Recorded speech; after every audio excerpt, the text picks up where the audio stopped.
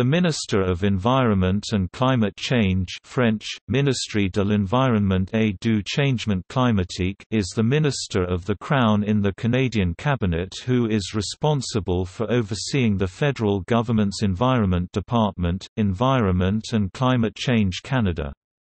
The minister is also responsible for overseeing Parks Canada and the Canadian Environmental Assessment Agency.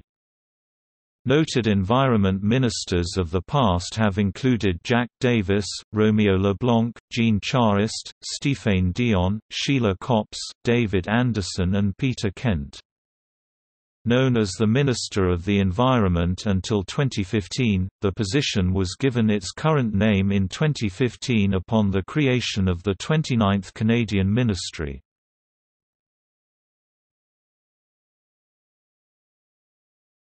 Topic: Ministers. Key. Topic: See also. International list of Ministers of the Environment Topic: Notes